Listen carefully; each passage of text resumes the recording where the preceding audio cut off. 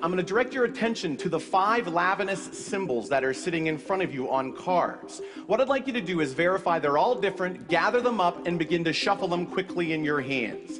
Now, normally at this point, I would blindfold myself, but this blindfold is going to play another role tonight. Tonight, I'm going to be doing this completely in the blind. We're going to raise a cloth as you shuffle. Good.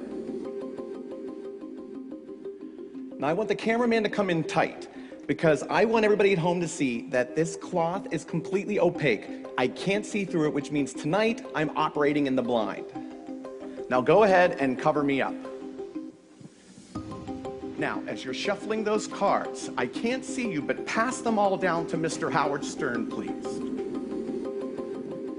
Howard, let me know when you have them. I have them. Good. Select one. We're going to do some magic, Howard, like you suggested.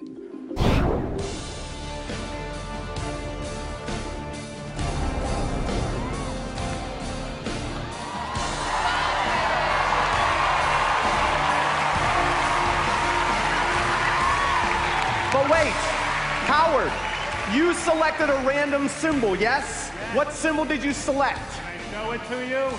Yes, There it is. a triangle. Right. Check it out.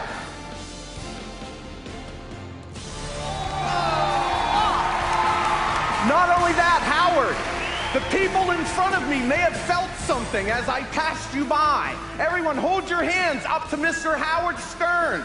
Check it out. On their hands. Thank you very much.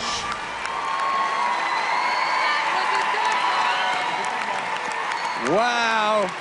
Mike Super, ladies and gentlemen, got the judges standing up and clapping, still getting everyone on their feet, especially Howie Mandel.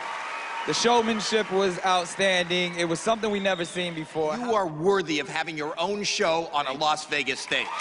Which is worth more than a million dollars. This trick, much like you, was out of the box. It was different, it was unique, and I like that. You think of new magic acts. Mike has the best stuff. Then